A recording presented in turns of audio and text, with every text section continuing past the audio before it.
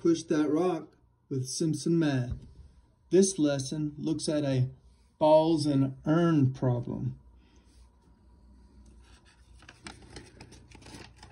Consider a experiment where we pour out balls from an urn containing a set of balls, white and black, and we count the number of black balls. This type of problem, of course, is an abstraction problem for sampling from a population. In this particular um, problem, we have five white balls and three black balls in a population of eight balls. So these are characteristics like uh, maybe male and female, Republican and Democrat, um, that sort of thing. And this is the population here.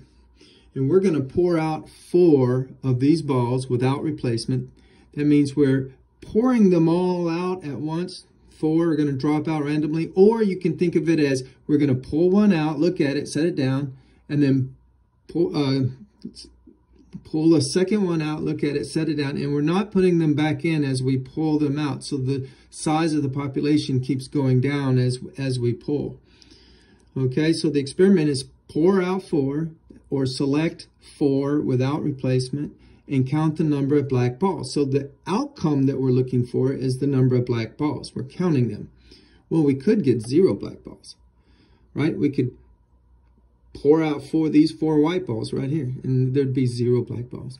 We could pour out this black ball along with three whites, so that'd be one black ball. We could pour out two blacks and two whites. We could even pour out three blacks and one white, but we cannot pour out four blacks because there aren't four blacks in the population. So the sample space is zero, one, two, three. When you make a sample space, you need to remember you're recording what the random variable values could be. The random variable is how many black balls did we count? Because that's the observation that we're making from this experiment. It says count the black balls. So that's the observations. The sample, so the random variable is the number of black balls, and the sample space is the possible values of that random variable. This particular sample space is not symmetric because these like these outcomes do not have equally likely chances. It is probably not the same chance to get no white balls as it is to get three. In fact, I think getting three is probably not that likely. We're going to ask, what is the chance for one black ball? So same experiment, pouring four, counting blacks from this population of eight, five white, three black.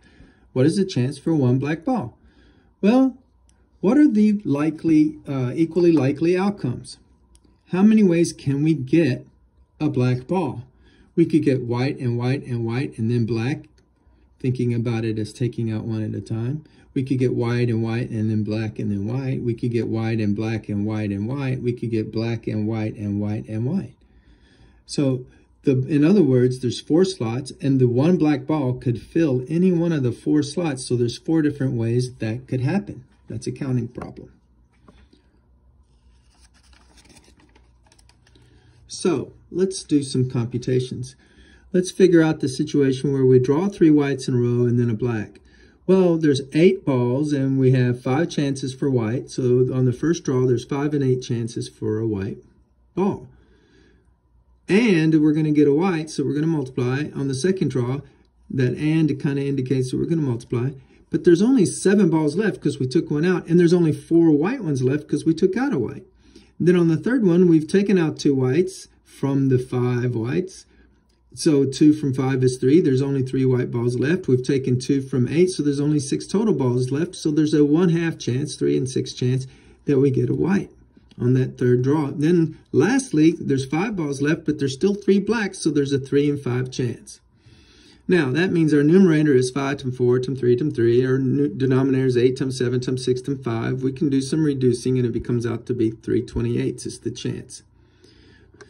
Or another way that we could get one black is if we went white and white and black and white. Now notice what happens when you think this out. There's five and eight chances on the first draw to get a white. There's four, because there's four whites left after you take one out, and seven balls left after you take one out. So four and seven chances to get a white. But wait, now we're it's down to six. We're drawing the one of the three blacks. There's the three and six chance. And after we draw out the black, we want to get a white again. Well, we've only taken out two, so there's still three left after five. Notice our, our numerator is exactly the same numerator. It's exactly the same numerator. and Denominator is exactly the same. So the if we cancel the 5 with a 5, and we 4 goes down to 8 twice, and 3 goes down to 6 twice, we have 7 times 4 is 28 is our denominator, and our numerator is 3, the same as before. Now remember, there's four different equally likely ways to pour out this one black ball, and each of them is going to have a 3 in 28th chance. So we're going to add all those up because it's this or that or the next one or the next one. So or means add. We add these up or that's the same, since they're all the same, is multiplying by 4. 4 goes into 28 seven times. And so the chance for one black ball is 3 sevenths. Yay, we solved this problem. In other words, when you solve this type of problem, in this particular case, we need three out of the five white balls and one out of the three black balls in an experiment with four out of eight equally likely outcomes. Now, if you're hearing the language, four out of five implies a combination of five choose three. One out of three implies a combination of three choose one. And four out of eight implies a combination of eight choose four. Success starts here at Temple College.